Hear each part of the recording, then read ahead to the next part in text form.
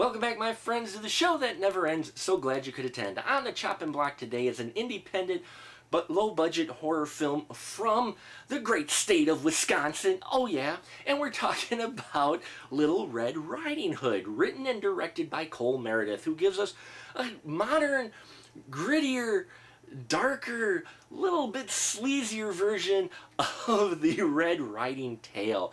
Okay, uh, in this version we have Trina, who's nicknamed Red. She loves red, wears a red cloak, a lot of red things in her house, in her room, uh, and she's an artist that likes to draw these really wild drawings.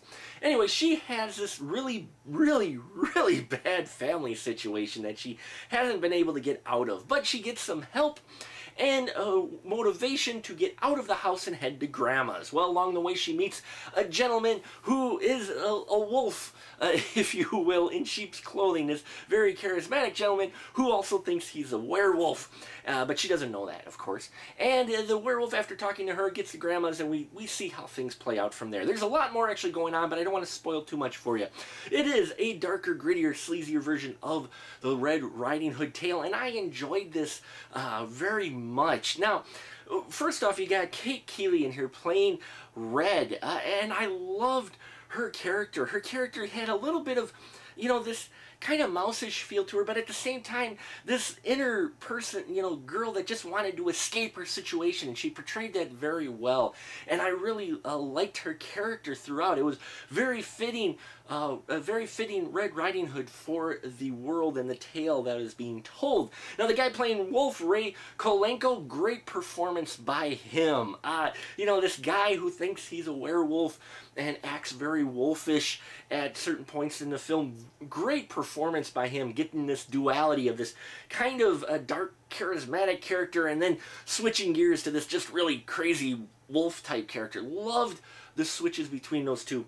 A very great portrayal of the uh, duality there within that character. And the rest of the supporting cast does really well. I really they got uh, Frank Wildingway plays the huntsman. I love this guy. This guy was great. This crazy huntsman on track, uh, trying to track down the wolf. And I just, I loved his character. He added a little bit of lighter moments to what is a very dark uh, version, uh, a very dark story, you know, uh, and the, the performance definitely by those, the two people who play Red's parent, uh, mom and her mom's boyfriend, oh my lord, these two really put in an intense performance. I was impressed really uh, it made you a little feel uncomfortable while watching it, seeing these two go at it with each other verbally. And you know, you, you felt for Red. It was a great setup because you really got a good feel of uh, feeling like Red felt in that situation when she, she walks in on these two arguing. I mean,